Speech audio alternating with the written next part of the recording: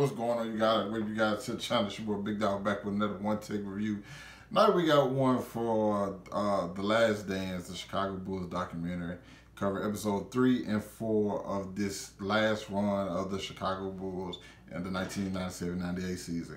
Which these two episodes, the, the whole document, the whole docu series has been great so far.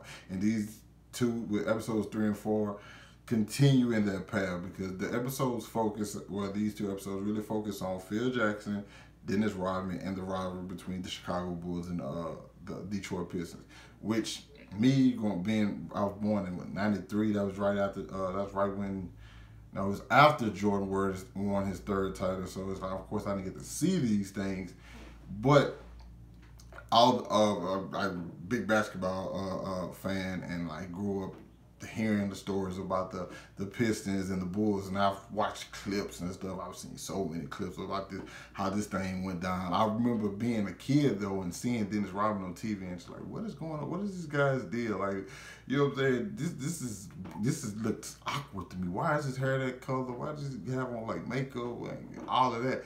And so, you know, like getting an insight, more insight into it is it's pretty. It's just it's fascinating to me because like one for one, like I said, uh, basketball is my first love. So seeing that is like pretty dope. Uh, I couldn't imagine like a lot of stuff hap- that happened then. I couldn't imagine happening now. One, I'm, I'm probably gonna start off with um like the the rivalry between the Bulls and the Pistons the Pistons were beating the shit out of Michael Jordan. Okay, like they were like the, the Michael Jordan rule, what they said, what they were, and then they, you know, they actually they never denied like, hey, man, before he went to L, we are gonna knock this, we're gonna beat the shit out of him. You know what I'm saying? We know we, once he in there, you can't do nothing about him. Of course, it's Mike. You know what I'm saying? Of course, you can't do nothing about it. But like before he gets in there, we gonna beat, we gonna beat his ass. And like that, that I always knew it's always talked about like yo the Pistons were that hump that the Bulls can get over.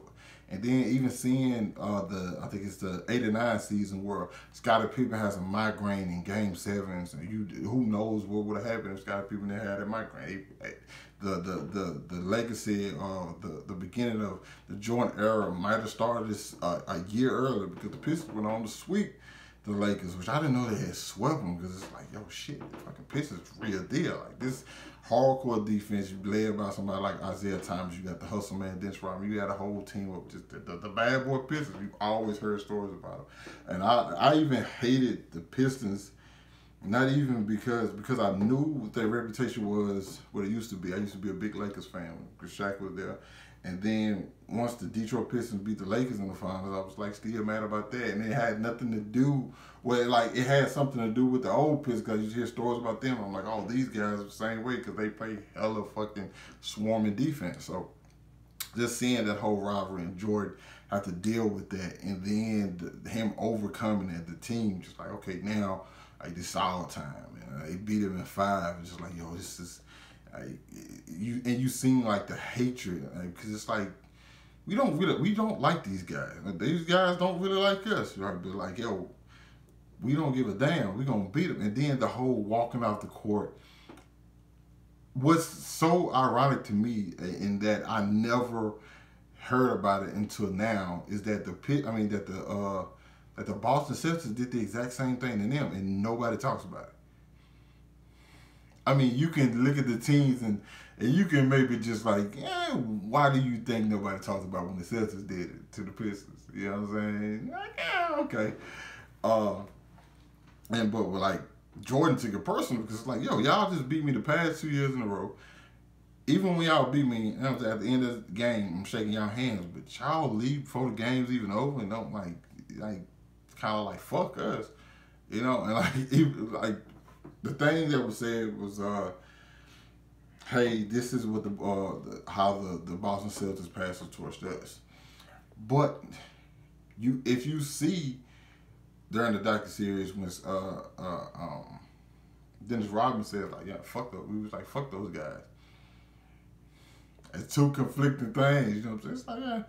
Uh, uh, uh John Salley was like, uh, uh, man, well, we didn't really, it wasn't like that. But like, no, it definitely was. Like, people might not want to admit, and you can tell like Jordan is still bitter about that to this day. You know what I'm saying? Like, oh, you can't you can't make me believe that guy was an asshole when referring to Isiah Thomas. I don't think they had a good relationship at all. I think Jordan legit was like pissed off at how, first of all, how they played him, how they played the game of basketball, and then like how they handled the whole situation. So just seeing that was like super dope. Uh, I'm saying I'm probably gonna say the best for last because because what's the name is definitely the probably one of my favorite episodes, and that's the whole Dennis Rodman episode. But talking about Phil and how Phil and and like uh, I can't think of the uh, it was a John. This wasn't John Paxson. I'm trying to think of the John. The coach that was before Phil Jackson, how he didn't really want to pay attention to the whole triangle. His whole thing was like, "Hey, get Jordan the ball." You know what I'm saying? And like Jordan, like Jordan loved that. He don't want eat. And Phil bring Phil in, Phil talking about like more teamwork stuff. Like what? Why do I not have the ball in my hands at all times? I'm trying to score 80. You hear me? But it's like, nah, Jordan, like you you need to like get your teammates involved because if they don't get better, it's just gonna be you, and then you're gonna be in the same situation that you've been in. You you gonna get you possibly might get to the finals maybe, but you're gonna run out of gas because you're doing everything and nobody else is playing to your level. And so he introduced a triangle. And I thought I always thought Phil Jackson was a great coach. I think he's like the greatest basketball coach of all time. Um, like right there with him and Pop, those are the two that I actually got to see. But like him and Popovich, I definitely think like the two greatest coaches of all time in like uh, the NBA. So like the whole bringing in Phil, the fact that Phil was like a different kind of person. Like Phil wasn't your average coach. Like the, the way what Phil was coaching before he got to the NBA, rough, rugged, whole bunch, whole lot of gangster shit. Like when they say the mayor shot a referee, it's like you kind of think to yourself, like, yo, what the fuck did you come from? Like you, you I'm pretty sure you happy as hell to be here. Like far as that, you gonna see you gonna see a couple of hard fouls and some niggas get punched or some shit, but you ain't gonna see nobody get fucking shoot a fucking ref like that. It's just crazy.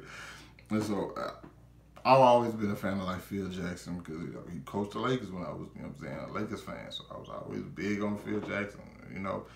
Um, and like that connection between Mike, him and Mike was super real because you knew, like, because even in the last season, Mike like, I feel not coming back. I'm, I'm out this bitch. You know, Phil not coming back. I don't care who you bring in. I'm, I'm, I'm leaving. There's no chance I'm staying. And then we get to the the last thing, and it's well, this actually was the first episode we saw tonight.